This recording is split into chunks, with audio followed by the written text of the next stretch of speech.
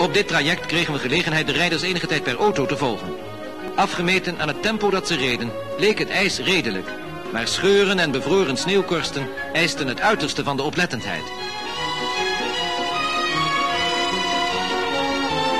Dat het toch buitengewoon moeilijk was, bleek ook uit een vergelijking met het tijdschema van 1956. Op dat schema lagen de rijders toen ze Bolzwart binnenvielen al drie kwartier achter.